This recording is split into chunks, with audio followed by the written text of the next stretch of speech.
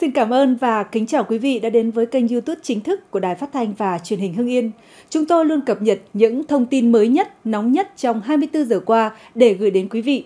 Ngay sau đây là phần nội dung chi tiết. Mới đây, giới chức tỉnh Quảng Đông, miền Nam Trung Quốc đã phải sơ tán hơn 110.000 người ở khu vực dọc sông Bắc Giang, một nhánh của sông Châu Giang vì nguy cơ lũ lụt và lở đất.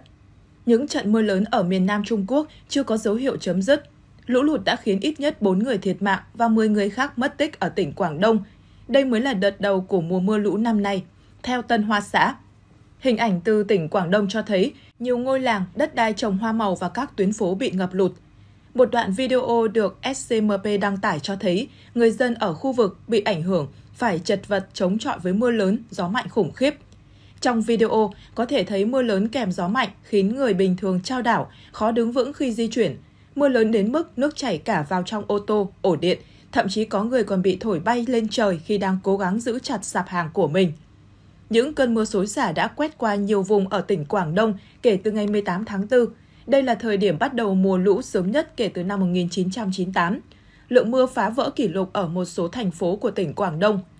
Hàng chục cảnh báo, mưa đá và rông bão cũng được đưa ra trên toàn tỉnh, bao gồm cảnh báo màu cam cho các thành phố Đông Hoàn, Dương Giang và quận Dương Sơn ở thành phố Thanh Viễn.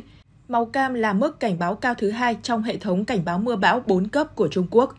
Đặc biệt, hôm 23 tháng 4, thành phố Thâm Quyến đã nâng cao cảnh báo lũ lụt lên màu đỏ, cấp độ cao nhất trong thang cảnh báo. Các khu vực bị ảnh hưởng nghiêm trọng nhất nằm dọc theo dòng Bắc Giang, một nhánh phía nam của sông Châu Giang, chảy từ thành phố Thiều Quan của tỉnh Quảng Đông đến châu thổ sông Châu Giang.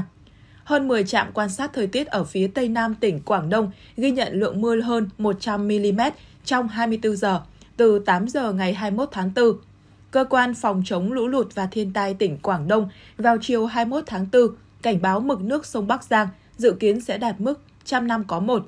Sau đó họ đã hạ mức cảnh báo xuống, nói rằng nước sẽ đạt mức 50 năm mới có một lần. Mưa đã giảm trong ngày 22 tháng 4, nhưng một số trường học trong tỉnh Quảng Đông vẫn đóng cửa. Cơ quan khí tượng dự báo mưa lớn kèm theo gió mạnh sẽ tiếp tục diễn ra ở khu vực Duyên Hải Quảng Đông.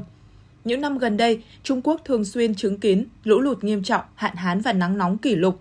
Biến đổi khí hậu được cho là nguyên nhân khiến các hiện tượng thời tiết cực đoan ở nước này xảy ra thường xuyên và dữ dội hơn.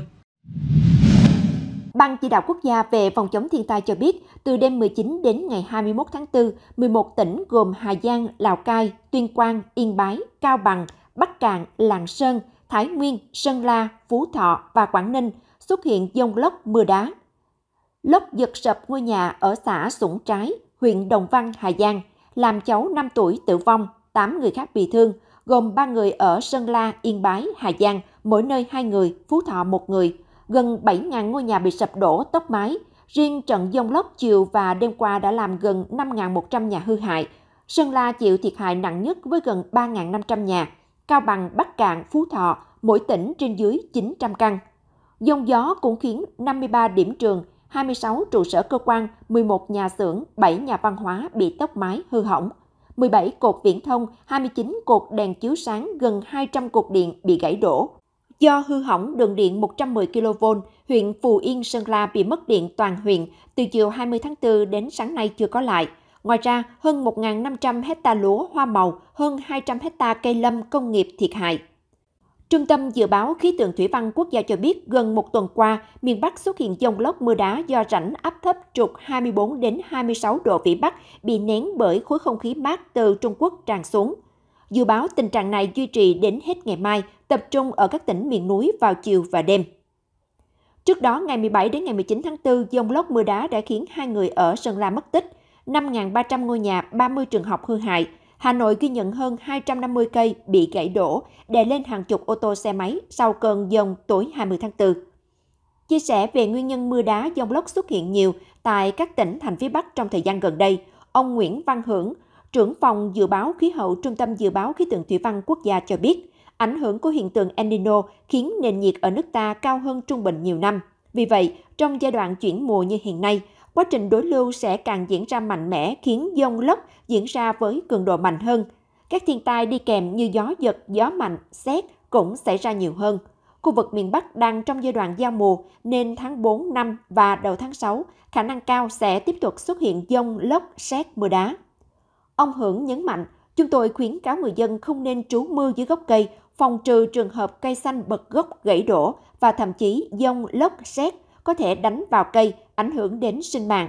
Khi có hiện tượng dông lốc, người dân nên tìm chỗ trú ẩn trong nhà, không đi ra ngoài trời. Ngoài ra, ông Hưởng khuyên người dân theo dõi thông tin thời tiết cập nhật trên hệ thống website của Trung tâm Dự báo Khí tượng Thủy văn Quốc gia và các phương tiện thông tin đại chúng để có phương án phòng tránh phù hợp. Sáng 22 tháng 4, ông Nguyễn Huy Nam, Phó Chủ tịch Ủy ban Nhân dân huyện Quảng Sương, Thanh Hóa cho biết, vào lúc 1 giờ ngày 21 tháng 4 năm 2024, tàu cá của ông Hoàng Văn San, sinh năm 1979, trú tại thôn Điền, xã Quảng Nham, huyện Quảng Sương, đang di chuyển trên vùng biển Đông Bắc, tỉnh Quảng Ninh, thì bị lốc tố đánh chìm hoàn toàn tàu. Tàu của ông Hoàng Văn San mang số hiệu TH90088TS, công suất 300 CV, chiều dài 16,7 m. Thời điểm xảy ra vụ việc, trên tàu TH90088TS có 8 thuyền viên. Khi tàu chìm, các thuyền viên đã bám vào phao cứu sinh chờ lực lượng cứu hộ. Ông Nguyễn Huy Nam thông tin cho biết, đến 8 giờ sáng ngày 22 tháng 4 năm 2024, lực lượng chức năng đã cứu vớt được 4 thuyền viên, 4 thuyền viên còn lại đang được lực lượng chức năng nỗ lực tìm kiếm. Danh sách 4 thuyền viên đang mất tích. Hoàng Văn San, sinh năm 1979 ở thôn Điền. Hoàng Văn Ninh, sinh năm 1989 ở thôn Thanh. Trần Văn Thiết, sinh năm 1982 ở thôn Trung, Triệu Văn Thiệu, sinh năm 1983 ở thôn Tiến, đều ở xã Quảng Nham, huyện Quảng Sương. Bốn thuyền viên được cứu sống gồm Dương Văn Hòa, sinh năm 1982 ở thôn Điền, Vũ Văn Hải, sinh năm 1989 ở thôn Trung, Ngô Văn Cẩn, 1990 ở thôn Bắc, Trần Văn Đông, sinh năm 1989 ở thôn Tiến, đều ở xã Quảng Nham, huyện Quảng Sương. Ông Nam cho biết thêm, Ủy ban Nhân dân huyện Quảng Sương và Ủy ban Nhân dân xã Quảng Nham đang phối hợp với lực lượng biên phòng Quảng Nham chấn an gia đình có tàu bị nạn và huy động lực lượng tàu bạn tham gia tìm kiếm cứu nạn 4 người còn lại. Huyện cũng đã có văn bản gửi Sở Nông nghiệp và Phát triển Nông thôn tỉnh về vụ việc này. Mới đây, một lãnh đạo Ủy ban Nhân dân huyện Cô Tô, Quảng Ninh cho biết trận dông lốc xảy ra vào lúc nửa đêm, rạng sáng 21 tháng 4 đã khiến gần chục phương tiện trên địa bàn bị đánh đắm, rất may không gây thiệt hại về người. Cụ thể, từ khoảng 23 giờ ngày 20 tháng 4 đến 2 giờ 20 phút ngày 21 tháng 4 năm 2024, trên địa bàn huyện Cô Tô có mưa to kèm theo dông lốc với gió cấp 5, 6, có lúc giật cấp 7, 8.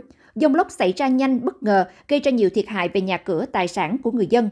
Trong đó có 10 phương tiện, tàu, mảng, bè vớt sứa bị đắm. 10 người đi trên phương tiện đã được cứu giúp vào bờ an toàn, không có ngư dân nào bị nạn mà chưa được ứng cứu. Trong đó có 8 ngư dân của huyện Cô Tô và 2 ngư dân của tỉnh Thanh Hóa đi đánh bắt trên vùng biển phía nam của đảo Cô Tô.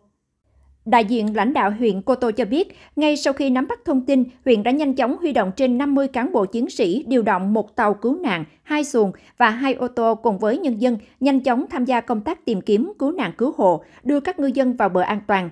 Tình hình sức khỏe của các ngư dân ổn định đã trở về nhà sau khi được đưa lên bờ rạng sáng 21 tháng 4.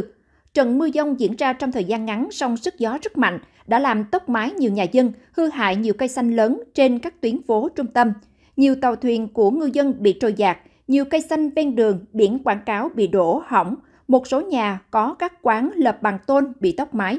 Hiện chưa thống kê được tổng thiệt hại bằng tiền đối với tài sản. Đến nay, công tác thống kê thiệt hại khắc phục hậu quả vẫn đang được tiếp tục khẩn trương triển khai, tình hình trên biển ổn định, giao thông thông suốt.